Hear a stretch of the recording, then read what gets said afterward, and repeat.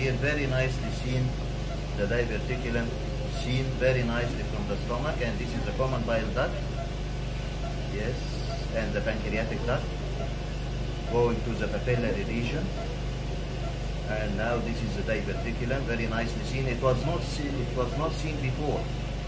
But after we went to the duodenum and injected about 150 to 200 cc's of water, now appears very nicely a small diverticulum at the papilla at the junction of the pancreatic and CBD. This is seen from the stomach. We are about 45 centimeter from the from the dental arch and above is the superior mesenteric vein and the head of the pancreas and the CBD pancreatic duct going to the papilla and here a very nicely seen small diverticulum. The patient is complaining of recurrent acute pancreatitis so we are searching for a cause. This may be the cause. If it is infected it will produce Lemmel syndrome and recurrent uh, biliary are in the uh, upper second part of the duodenum and this is the aorta and the IVC and here this is the lumen.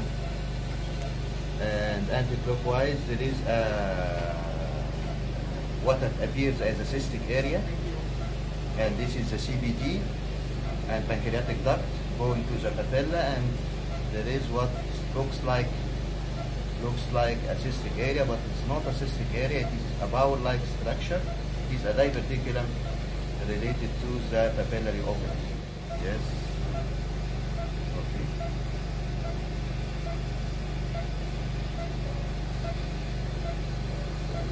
Now appearing that there is a moving air and water inside yes and here it appears as it is a pancreatic cyst. It is not a pancreatic cyst.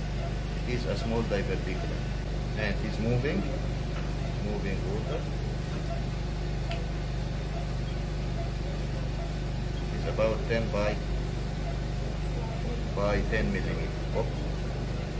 yes very nicely seen a small diverticulum at the region of the آه آه لا ثانية أنا خدتها بس بالموبايل. عايزه أخدها بال